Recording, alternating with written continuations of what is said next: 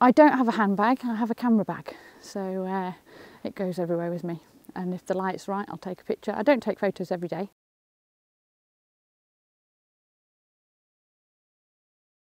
I can take probably about five or six thousand a week. But it was the one she thought long and hard about which secured this year's prestigious British Life Award. I absolutely love that little stable and I wanted to capture the atmosphere in there of the small lambs suckling the milk, the smell of the milk, the heat and the warmth from the lamp, the rustle of the straw and I wanted to capture the emotions that I felt when I go in there and feed them in an image and uh, I'm absolutely delighted that it's being taken so well. Amy's plan now is to take others on a similar journey with organised farm photography tours, capturing life in her Lakeland Valley.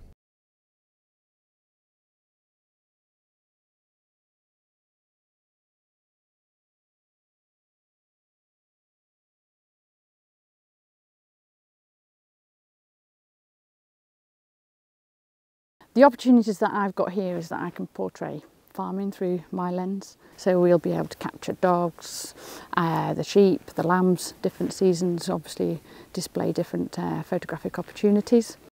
With financial pressures in farming, she says, this is her way of diversifying the family income. I think it's going to be important that we have another arrow for our bow. We have three children, they don't come cheap. Amy will travel to London next month to collect her award. Mark McAlinden, BBC Look North, Cumbria.